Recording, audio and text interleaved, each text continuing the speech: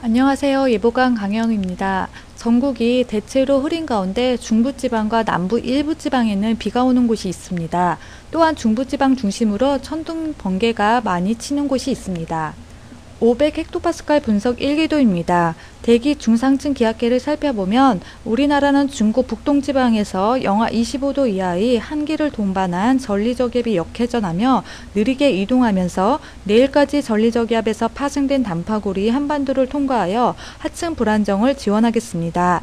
내일 후반부터는 기압골이 동해성으로 빠져나가면서 기압능의 영향을 받아 날씨가 호전되겠습니다. 700헥토파스칼 일기도에서는 중국 북동지방의 저기압이 위치한 가운데 우리나라는 건조역에 들어있는데요. 점차 역회전하는 저기압이 가장자리를 따라 저습수역이 한반도로 유입되면서 모레 새벽까지 우리나라에 영향을 주겠습니다. 850헥토파스칼 분석 1기도입니다.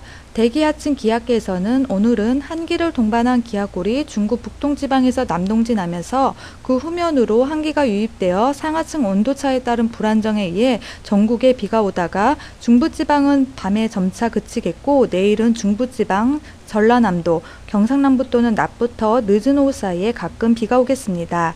또한 상층 한기가 강하게 하층으로 유입되면서 돌풍과 함께 천둥 번개가 치는 곳도 있겠고 특히 오늘 밤부터 내일 새벽 사이에 경북 내륙에서는 우박이 떨어지는 곳이 있겠습니다. 내일 낮부터는 중국 상해 부근에 위치한 고기압이 영향을 받아 맑아지겠습니다. 지금까지 기상청에서 알려드렸습니다. 감사합니다.